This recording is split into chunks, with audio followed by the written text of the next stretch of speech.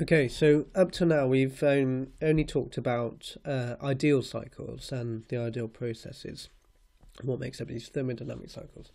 And in this section, I'm just going to talk about um, obviously what we have in reality isn't real, uh, sorry, isn't ideal. We have um, it does differ from those cycles. So I'm going to talk about those differences in this section.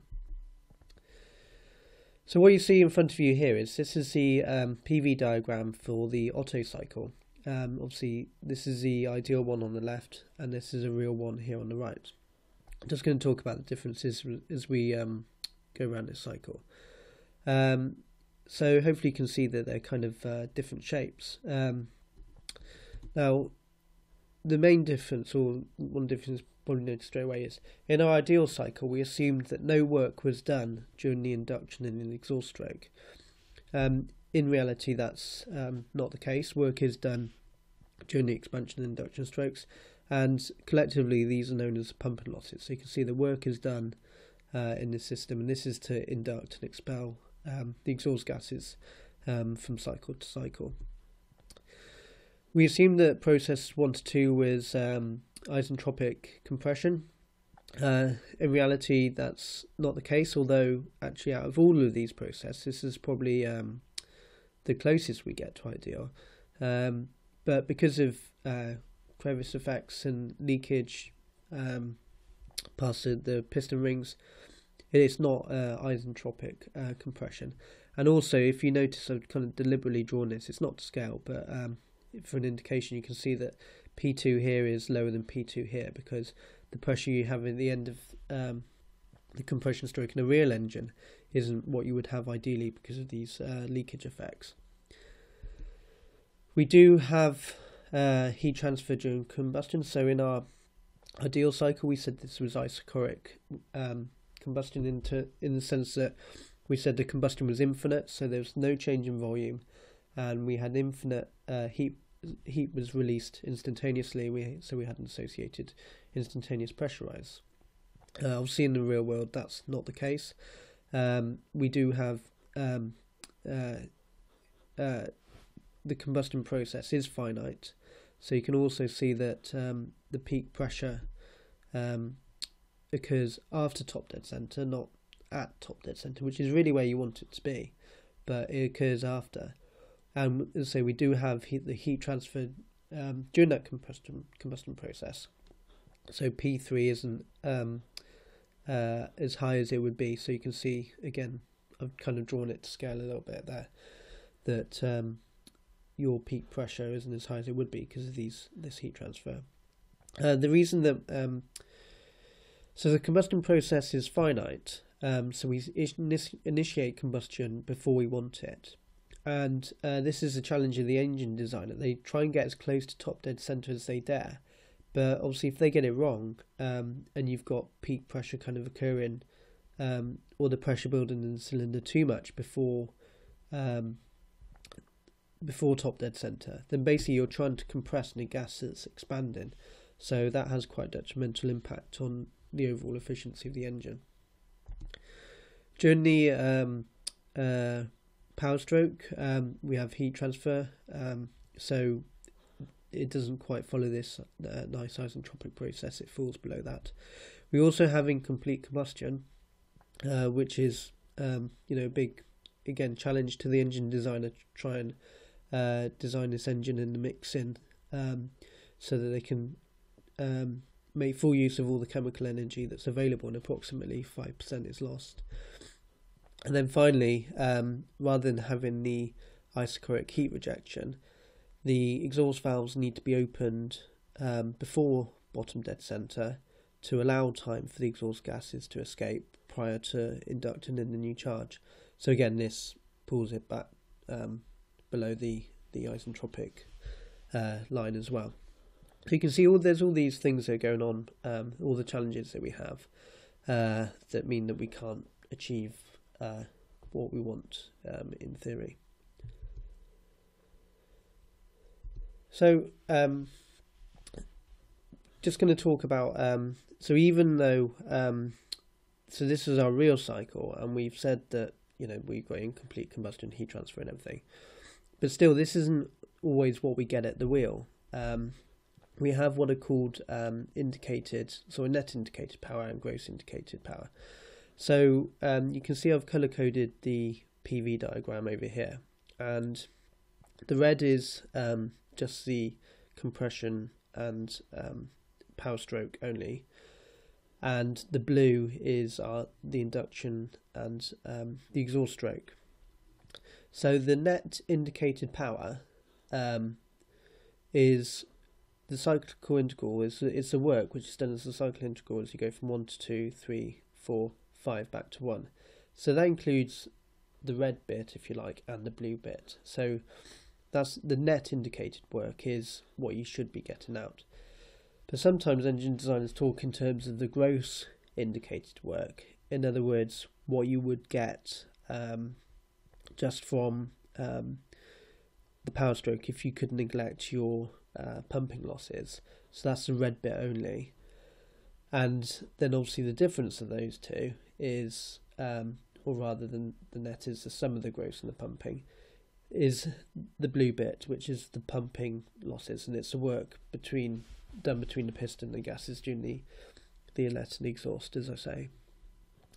And uh, we talk about indicated work, and actually, um, the PV diagram in uh, still some old uh, automotive books is referred to as an indicator diagram, um, referring to the to the work that it, that it represents. So um, that's what we have in the engine. Um, sorry, from the cylinder. So from the indicator diagram, we can get um, an indication of the amount of work that the uh, uh, the engine is doing for each cylinder. But that's still not what we get um, that's delivered to the wheels because of um, okay, we've got the pumping losses, but you still have additional losses in the engine, uh, mechanical losses due to friction, etc., etc. And the way we can measure the, what actually comes out of the engine uh, is with an engine dyno, and that's called the brake power. And so called because what we're doing is we're effectively applying a brake to the engine to measure the amount of torque um, that it's producing. So um, this is measured with a dynamometer, and the way that it works is uh, the engine is connected to the dyno, so the, the rotor, the red bit in the middle, and that rotates. And basically, it's resisted by the stator on the outside. And the the torque, um, when it's balanced, the torque uh, that's being applied to to the by the engine to the rotor is measured by using by measuring the load in this load cell. You know the force that's being applied on this arm and you know what uh, lever arm that's being acted over because that's lever arm B, so you can work out the torque um, uh, being applied from the engine. You want to get that into power, so the torque is obviously um, FB, and therefore the power is um, it, it's the rotational uh, component of the velocity of that. So it's two pi n, where n is the um, engine speed times by the torque, and that gives you the brake power. Um, a quite simple test was developed um, called the Morse test to determine the indicated power and frictional losses in an engine. And it it looks fairly involved, but it's quite um, simple um, in its in its uh, conception, really.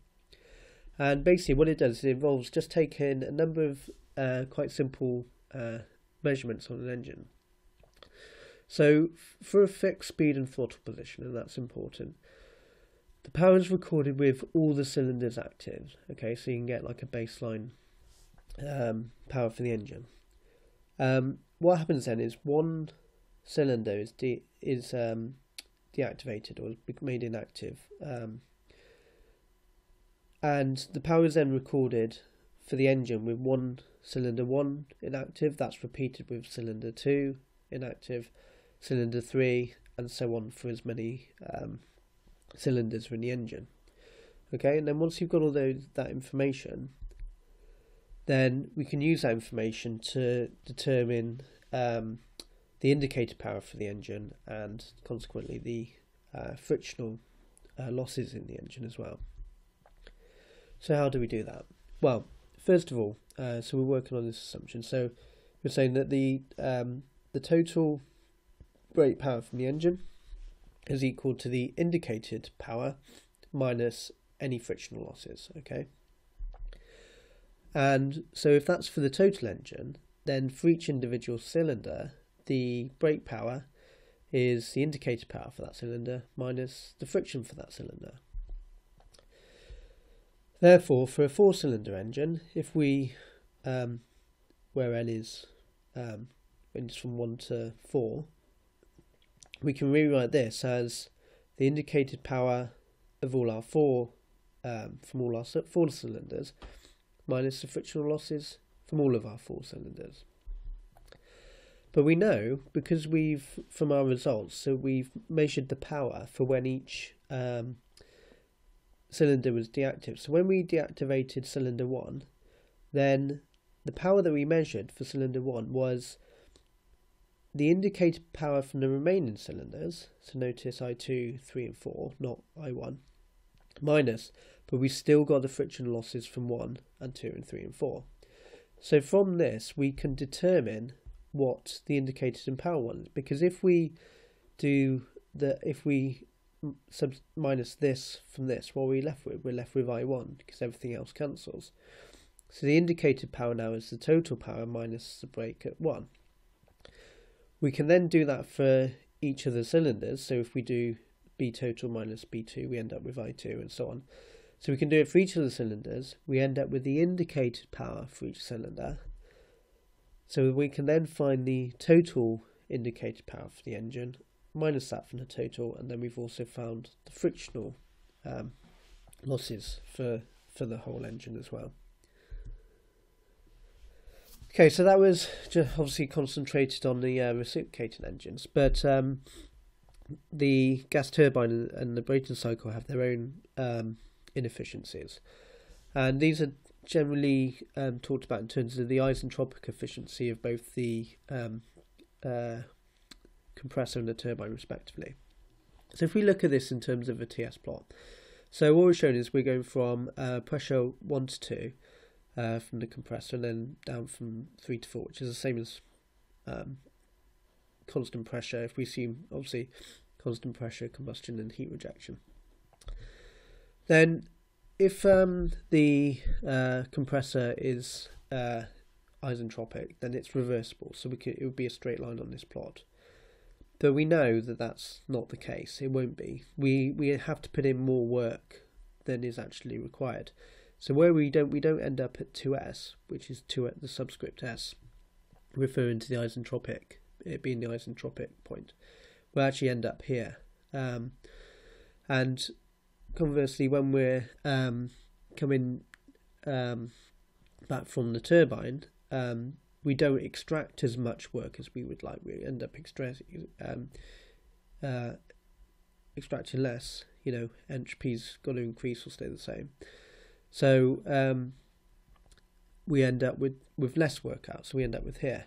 So we can write the efficiency of the um, compressor as uh, the change in enthalpies, or we can bring those to um, back to the temperatures.